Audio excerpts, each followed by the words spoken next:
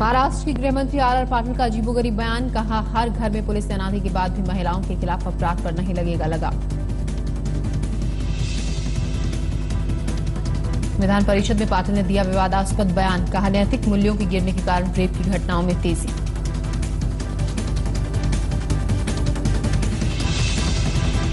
BJP नेता विनोद तावड़े ने पाटिल के बयान पर जताई आपत्ति, कहा आर आर पाटिल अपनी ड्यूटी निभाने में नाकाम। महिलाओं की सुरक्षा के लिए कोई कदम नहीं उठाया।